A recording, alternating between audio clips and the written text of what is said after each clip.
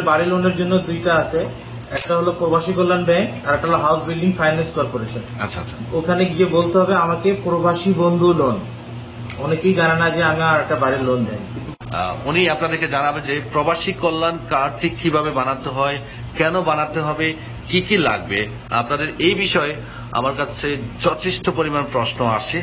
তো তার জন্য আজকে এখান থেকে আপনাদেরকে পুরো বিষয়টি আমি ক্লিয়ার করে দেব। কেমন আছেন আপনি? আমি মোহাম্মদ নিজামুদ্দিন এই প্রবাসী সেবা কেন্দ্রে রিয়াদ বাদাতে আছি। তো এখন আমাদের যে যে প্রবাসীদের যে মেইন একটা প্রবাসী কার্ডটা যে জরুরি বিশেষ করে প্রথমে পাসপোর্ট এবং ইকামা দুই কপি ছবি নিয়ে আসবে।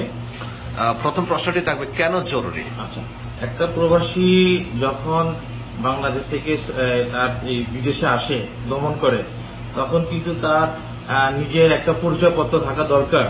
এবং আমাদের বাংলাদেশ সরকার, মাননীয় প্রধানমন্ত্রী এবং আমাদের যে প্রবাসী কল্যাণ মন্ত্রণালয়, আমাদের প্রবাসীদের জন্য কিন্তু একটি গেজেট পাস অলরেডি হয়ে গেছে। এবং সেই গেজেট পাশে যে তথ্যগুলি দেওয়া আছে, প্রবাসীদের যে সুযোগ সুবিধাগুলি, সব তথ্যগুলি এই লিফলেটের ভিতরে দেওয়া আছে এবং এখানে একটা ওয়েবসাইট আছে এবং একটি নমুনা দেওয়া আছে কার্ডের এবং কি কি লাগবে সব কিছু তথ্য দেওয়া আছে এখানে। তো আমি মনে করি যে বিএমইটি যে ইমিগ্রেশন ক্লিয়ারেন্স কার্ড এইটা কিন্তু বিশেষ করে আমাদের একটা প্রবাসী যখন নতুন করে একটা বিদেশে যায়, সেই ক্ষেত্রে তার যে ভিসা হতে মেডিকেল ভিসা পুলিশ ক্লিয়ারেন্স এবং সে যে একটা ফিঙ্গার দিয়ে আসছে মানে ইমিগ্রেশন ক্লিয়ারেন্স করে আসছে ম্যান পাওয়ার ক্লিয়ারেন্স এই সব তথ্যগুলি কিন্তু এই ইমিগ্রেশন ক্লিয়ারেন্স কার্ডের ভিতরে থাকে। এবং এইটাও কিন্তু অনেক জরুরি, কারণ একটা প্রবাসী সে যে একটা বাংলাদেশের নাগরিক, অনেক সময় তার পাসপোর্ট হারিয়ে যেতে পারে বা তার ভিসাটা হয়তো সে যে কোনো একটা ব্যাপার হয়তো ই হয়ে গেছে। কিন্তু এই কার্ডটা যদি তার কাছে থাকে, সব তথ্যগুলি এটির ভিতরে থাকবে। আমি মনে করি প্রত্যেক প্রবাসী, যেহেতু সারা বিশ্বে যত প্রবাসী আছে, যত প্রবাসী আছে, সব বিশ্বে কিন্তু প্রবাসীদের, বাংলাদেশি প্রবাসীদের এই সেফ কার্ড প্রবাসী কল্যাণ কার্ড এবং এই কার্ডের বিনিময়ে যে সুযোগ সুবিধাগুলি পাবে সেটা কিন্তু এককালীন না এখানে বলা আছে যে এটা অনির্দিষ্ট মানে সারা জীবন অনির্দিষ্টকালের জন্য। সেই মুক্তিযোদ্ধা যে মুক্তিযোদ্ধার যে সার্টিফিকেটে যেভাবে ই করেছে ঠিক প্রবাসী কল্যাণ কার্ডেরও তথ্যগুলি সেম সেম ওয়ে আপনি মনে করেন আপনার ব্যক্তিগত অভিমত যে অবশ্যই তার কাছে প্রবাসী কল্যাণ কার্ডটা থাকা চাই।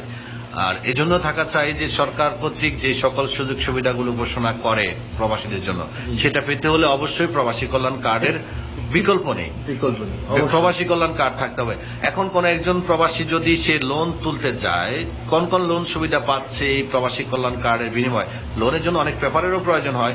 তো হয়তো অনেক প্রবাসী মনে করে যে আমি শুধু এই কার্ডটি নিয়ে গেলেই আমি লোন পেয়ে যাব। কথাটা কি ভিত্তিহীন না ভিত্তি আছে এটা? আচ্ছা আসলে একটা ব্যাংক ব্যাংক যখন কোনো ব্যাংকে যাবে একটা লোনের লোনের জন্য অবশ্যই সেই ব্যাংকে তো একটা সিস্টেম আছে অবশ্যই যে সে যদি বাড়ির লোন করতে যায় তাহলে সে বাড়ির লোনের যে সে যে বাড়িটা করবে কীভাবে করবে? সে নিশ্চয়ই তার একটা ইসের তার ডকুমেন্টস অবশ্যই আছে বিশেষ করে দলিল তারপর সিটি কর্পোরেশনের যেটা পারমিশন তারপর রাজুকের পারমিশন হ্যাঁ এইসব তথ্যগুলি এবং কতটুক সে বিল্ডিংটা করবে এবং সে এইটা কত বছর মেয়াদি নিবে? এইসব ডিটেলস মানে সমস্ত কাগজ আপ টু ডেট থাকতে হবে তারপরে একজন প্রবাসী হিসেবে সে সেবাটা পাবে তার কার্ডের বিনিময়ে। জি। এক কথায় সুবিধাটা তার কার্ডের বিনিময়ে পাবে কিন্তু লোনের জন্য যে সকল পেপারগুলো বাংলাদেশ সরকার ব্যাংকিং সিস্টেমে আছে সেটা আপনাকে জমা দিতেই হবে। আচ্ছা তার মানে আমাদের প্রবাসীরা যেটা মনে করে লোনের বিশেষ করে বাড়ি লোনের জন্য দুইটা আছে। একটা হলো প্রবাসী কল্যাণ ব্যাংক আর একটা হলো হাউস বিল্ডিং ফাইন্যান্স কর্পোরেশন আচ্ছা আচ্ছা। ওখানে গিয়ে বলতে হবে আমাকে প্রবাসী বন্ধু লোন অনেকেই জানে না যে আমি আর একটা বাড়ির লোন দেন যদি প্রবাসী বন্ধু লোনটা বলে কোন কোন ব্যাংকে পাচ্ছে এই সুবিধাটা এখন? এটা এখন প্রবাসী কল্যাণ ব্যাংক এবং হাউস বিল্ডিং ফাইন্যান্স কর্পোরেশন আচ্ছা হাউস বিল্ডিং ফাইন্যান্স কর্পোরেশন এটা কি গভর্নমেন্ট অনুমোদিত? এটা গভর্নমেন্ট গভর্নমেন্টের আচ্ছা এখানে আমরা প্রবাসী বন্ধু লোনটা পাচ্ছে হাউসের জন্য। হ্যাঁ, আচ্ছা এইবার আসুন আপনাদের এই কার্ডটি বানানোর জন্য কি কি প্রয়োজন হচ্ছে? কারণ আমরা এতদিন দেখে দেখে বলছি আজকে আপনার থেকে দর্শক জানুক এই কার্ডটি বানানোর জন্য কি কি প্রয়োজন হয়? এটা প্রথমে একটা পাসপোর্ট ইকামা আর দুই কপি ছবি। এবং পাসপোর্টটা অবশ্যই ভ্যালিডি থাকতে হবে। হ্যাঁ। হ্যাঁ? পাসপোর্টে অবশ্যই ভ্যালিডি থাকতে হবে।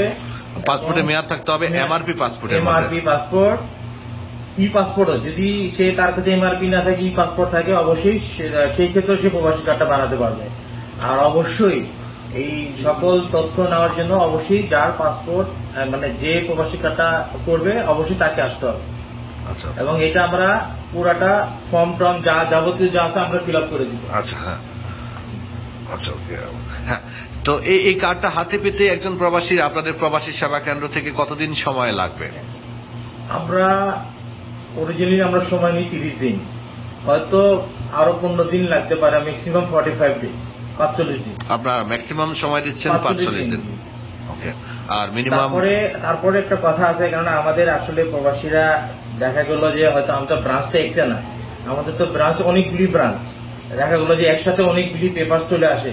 তো এই একসাথে যদি বেশি করে বেশি যখন যে মাসে চলে আসে হয়তো আমরা আরেকটু আমরা তাদেরকে ফোনে আমরা জানিয়ে দিই মেসেজ দিয়ে যে হয়তো আরও পনেরো দিন লাগতে পারে।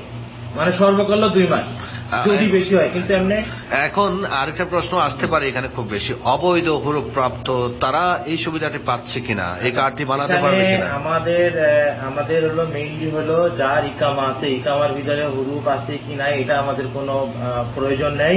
শুধু একটা ইকামা কপি লাগবে আর পাসপোর্টটা লাগবে আর দুই কপি ছবি। আর যাদের ইকামা নেই তাদের জন্য যাদের ইকামা হয়নি ইকামা নাই তাদেরকে অবশ্যই ইকামা দিয়ে এই প্রবাসী কার্ডটা বানাতে হবে। কারণ ইকামাটাই হলো সে যে একজন প্রবাসী। একজন রেমিটেন্স যোদ্ধা। কারণ এটা তো একটা ছোট প্রকল্প না। আচ্ছা এই একই সেবা আপনারা সবগুলো ব্রাঞ্চ থেকে দিচ্ছেন তো? জি জি জি। আমাদের যতগুলি ব্রাঞ্চ আছে প্রতিদিন আমাদের ওখানে ওখান থেকে তারা করতে পারবে। সেম সকাল আটটা থেকে রাত আটটা পর্যন্ত সেবা নিতে পারবে এবং শুধু শুক্রবার। শুক্রবারটা হলো বিকেল চারটা থেকে রাত আটটা পর্যন্ত। ফিটা বলে দেন। জি আমাদের প্রবাসী কল্যাণ কার্ডের যে রিয়াদে রিয়াদের যারা যেখান রিয়াদ থেকে যে প্রবাসী কার্ড যারা বানাবে তাদের আমাদের এই প্রবাসী সেবা কেন্দ্রের ফি হলো দুইশো পনেরো রিয়াল। আর আমাদের রিয়াদের বাইরে যে আমাদের সেবা কেন্দ্রগুলি আছে সেখান থেকে শুধু দুশো তিরিশ